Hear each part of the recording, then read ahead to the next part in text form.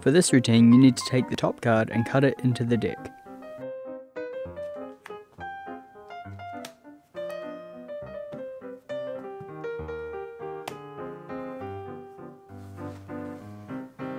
Then with complete confidence you need to cut directly to that card.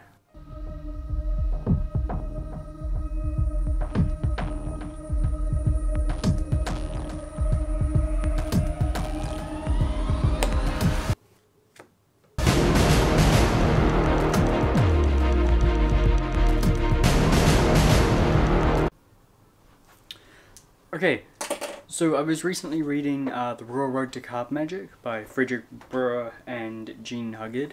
Probably saying that wrong because I believe they're French, so probably can't pronounce the names properly.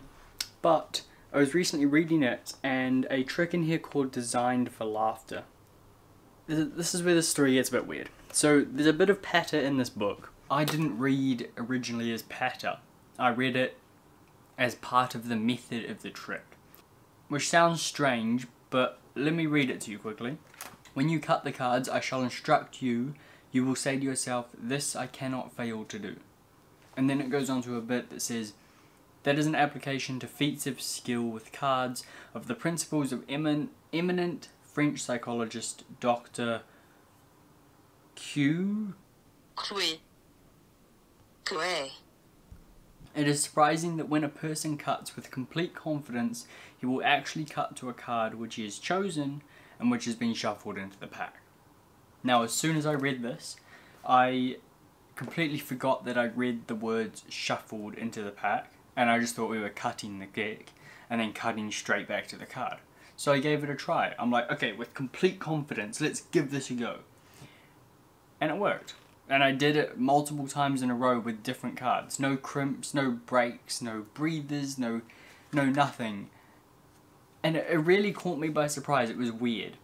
Now, of course, looking back on that text, I realised that is just part of the patter. I do believe Dr. Coué.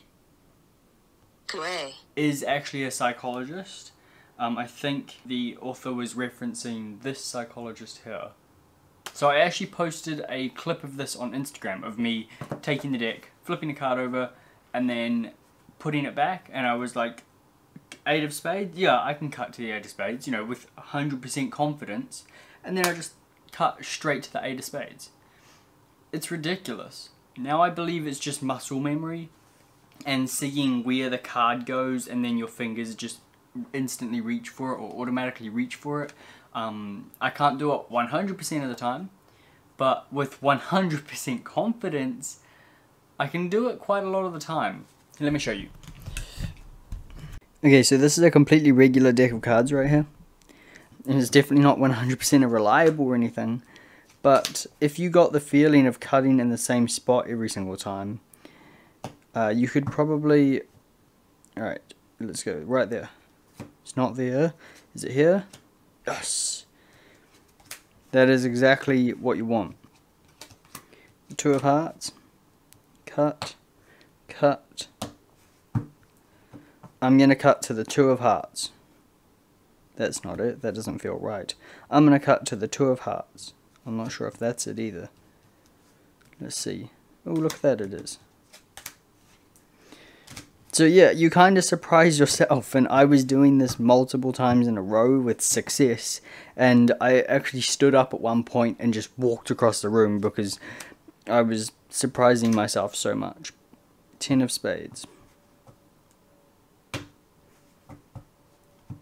Let's cut to the ten of spades, right there. See, it's... What? I didn't actually think I'd gotten it just then, and I did. This is crazy. So what I was talking about while cutting the cards was, as you cut some off, you're holding this many, and you put them down. And then if you're not cutting directly in half, like say you cut two thirds of the deck off and then you're holding a third left, you want to try get used to the feeling of this third of cards in your fingers as you put it down.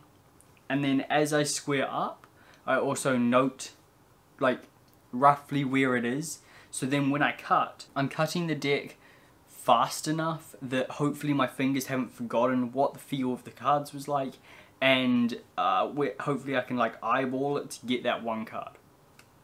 Now obviously you could probably improve your chances more by bending the card slightly as you like turn it over. I don't think you need to. I'm wondering if you could do it with a spectator, like have them cut the cards, and if you eyeball it enough, whether it would actually be possible to then cut to where they cut the card into the deck. I have no idea. So I actually do think this idea has a little bit of merit, especially for some routines. You could uh, have them have them or just have you cut the card into the deck as fairly as possible and then do another cut straight away. And you're either going to cut straight to their card or you're not. Now, if you don't cut to their card, there's ways, of course, of uh, finding their card afterwards or, you know, continuing on with another effect. But if you do cut to their card, you've got a pretty strong effect right there and then. So I definitely think it's kind of like a, you know, an out in the middle of a routine. I'm not sure. But it's just it's just a thing you could use, and if it doesn't work, well, you just continue on with whatever you were going to do. So I really like this idea, and I read it on accident as part of the patter of a trick in Royal Road to Card Magic.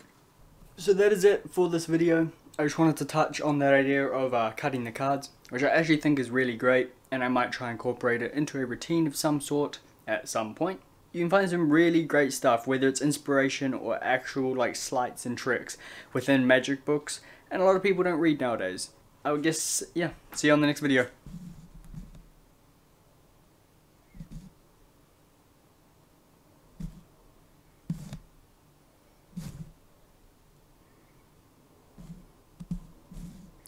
These glasses are great.